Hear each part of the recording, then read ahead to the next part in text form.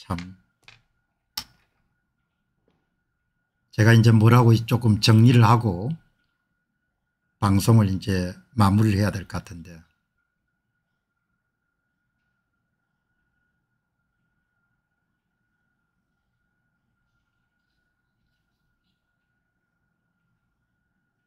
여러분 지금 대한민국은 선거에 관한 나라가 망한 상태입니다. 예.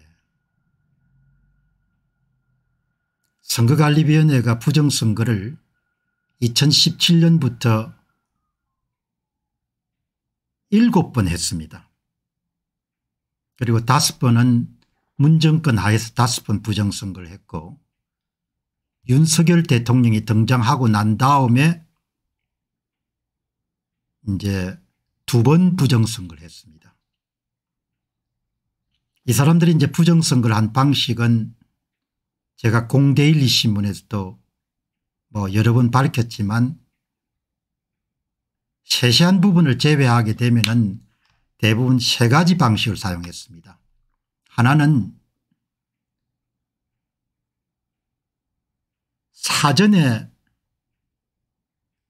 누구를 당선시킬 것인가를 결정해 가지고 선거구마다 몇 표를 훔칠 것인지를 조작값을 만들어서 그것을 이제 선거관리위원회의 핵심 관계자들이 이제 제공하게 되면은 그 선거관리위원회 핵심 관계자들이 후보가 받는 득표수를 전산 조작을 해가지고 투표자들이 던진 득표수가 아닌 것을 예, 만들어내는 겁니다. 새로 조작된 후보별 득표수를 만들어 가지고 그것에 기준해서 당선자와 낙선자를 결정하는 그런 선거를 일곱 번째 해왔습니다.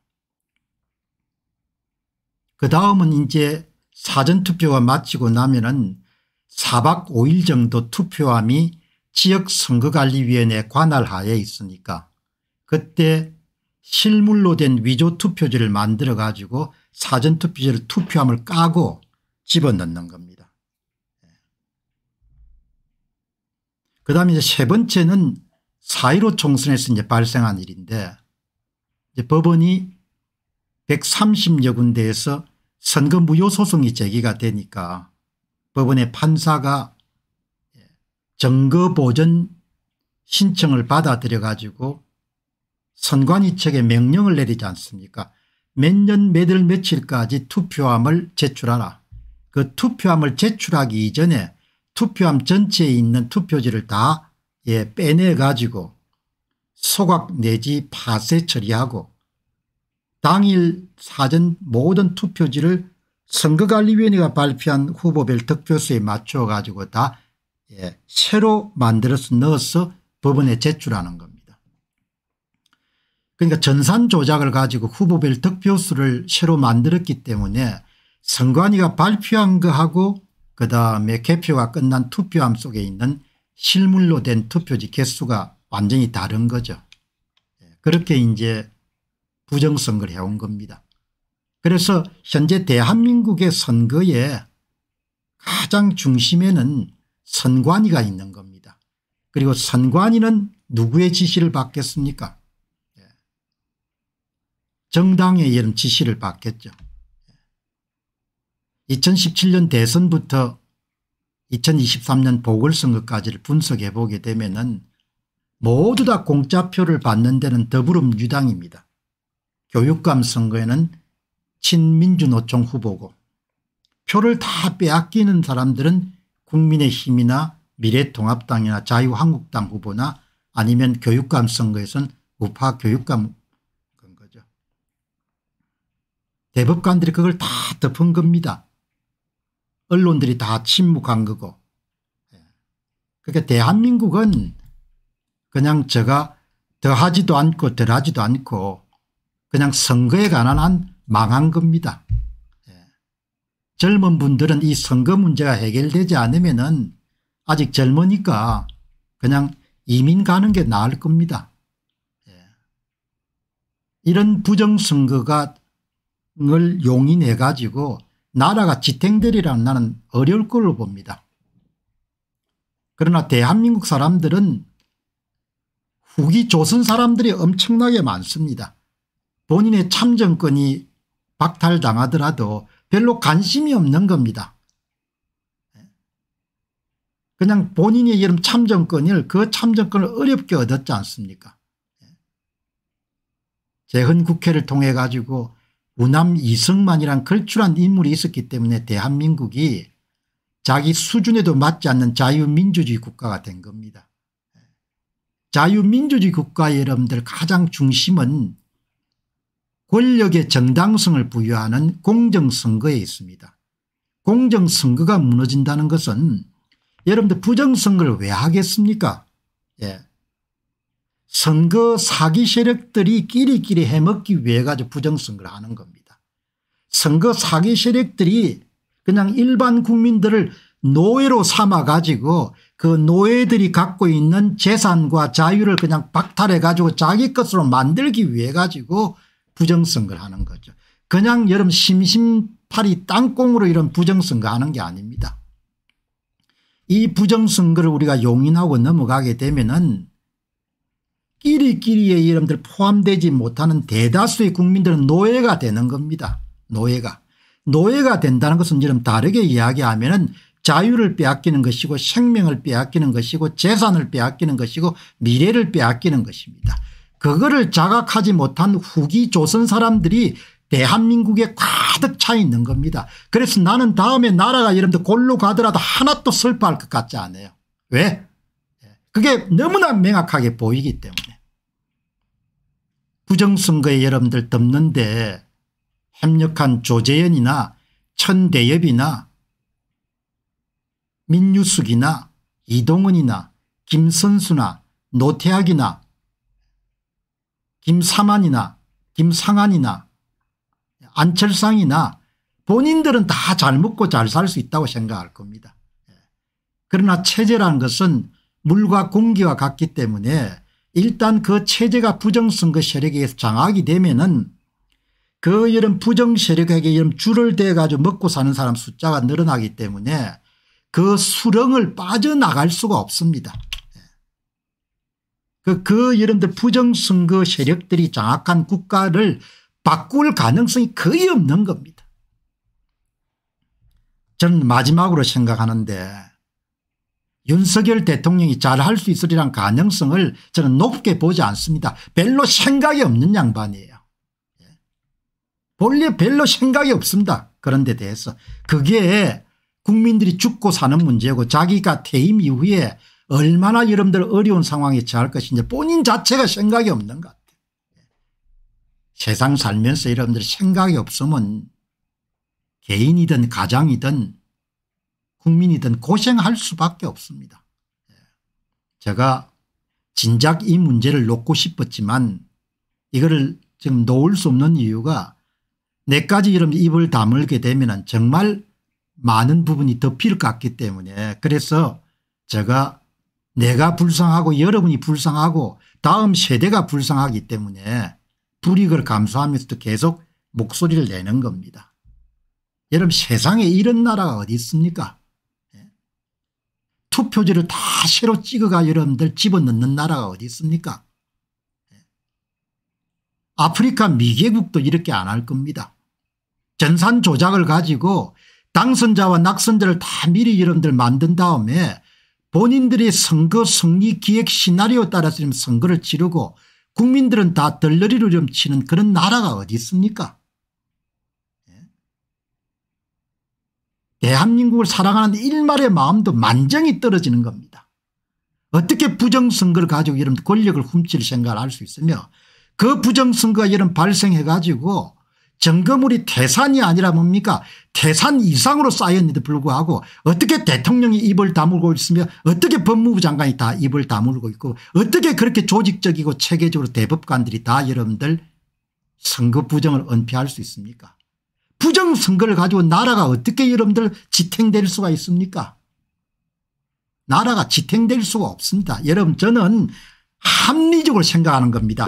4.15 총선이 끝난 다음에 끝난 다음에 무슨 조갑제니 이런 정주제니 이런 양반들은 입 닥치고 부정선거 없다라고 이런 결론 내리고 이런 그다음에 주절주절 모든 걸 떠들지만 저는 20대 여러분들 사회과학을 한 인물이기 때문에 증거를 착실히 축적해 가지고 처음에는 가설을 주장하고 그다음에 2022년도 여름 12월 달에 제야 전문가의 도움으로 모든 여러분들 2017년 대선부터 2022 3년도 4월 5일 보궐선거까지 여러분들 분석이 끝난 다음에 그때 선관위 주도 선거범죄라고 여러분들 확정적으로 이야기를 한 겁니다. 오늘 모신 권호영 변호사님은 법을 하신 분인데 법은 대부분 사람들이 보수적입니다.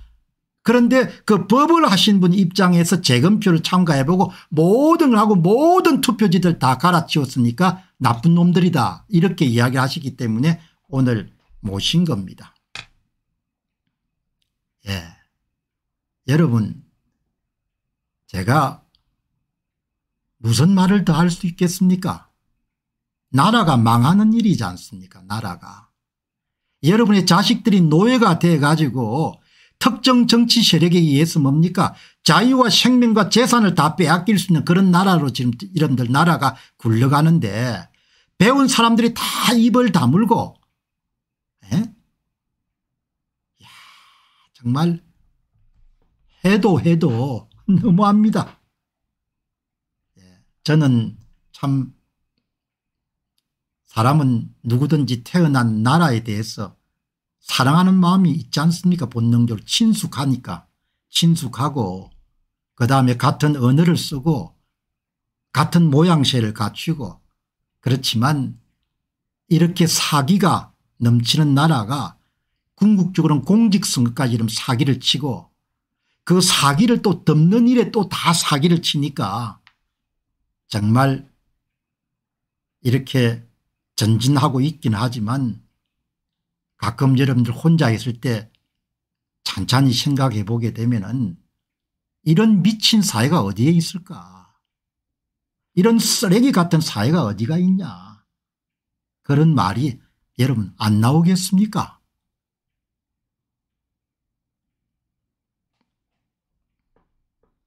오늘 권호영 변호사님 말씀하시는데 법원 안에 보관 중이던 증거물들이 다 훼손되고 변조된다는 거 아닙니까?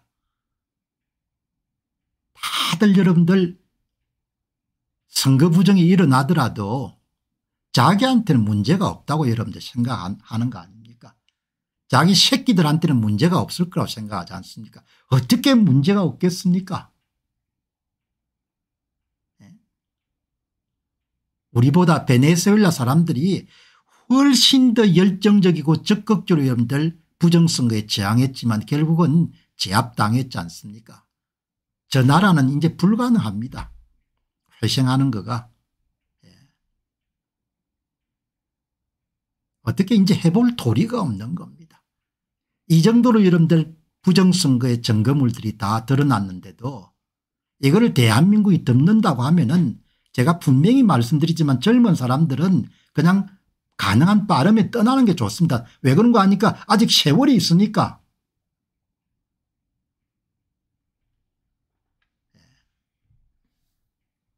제가 이 문제를 다루온 지가 3년 여러분들 4, 5, 6, 7, 8 5개월 됐네요.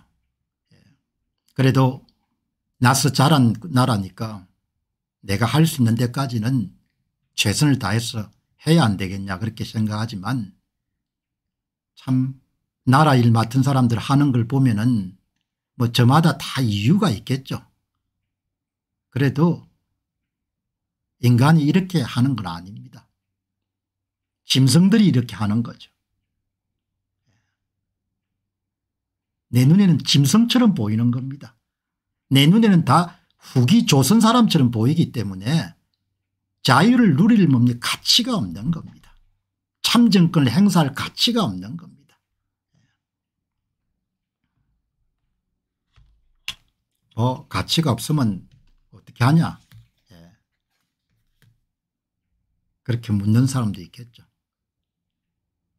어떻게 참 이 나라가 이 문제를 해결해 가는 과정을 보면 은 너무나 기가 막히고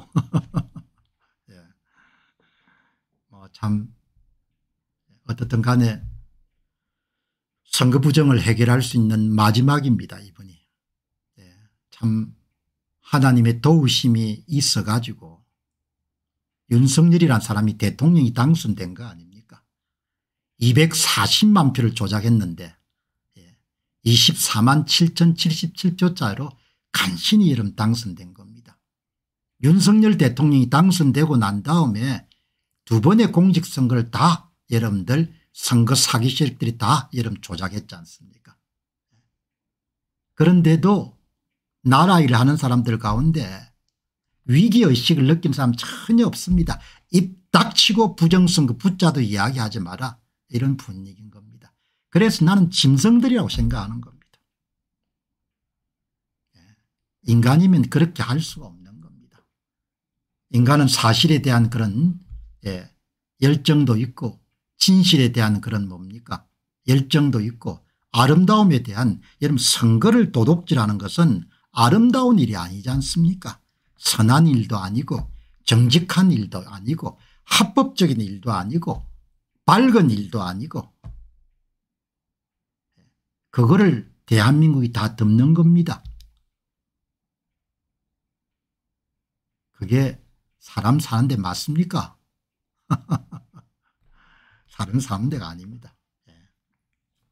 자 어떻든 어, 이 지금 권호영 변호사님이나 이런 분들이 갖고 있는 증거 자료들이 다 이제 어, 사장될 수가 있기 때문에 이제 다음 또 토요일 날도 6시 반에 여러분 모시고 예, 그 재검표장에 직접 찍고 촬영했던 부분들을 여러분들에게 공유하는 그런 시간 갖도록 그렇게 하겠습니다.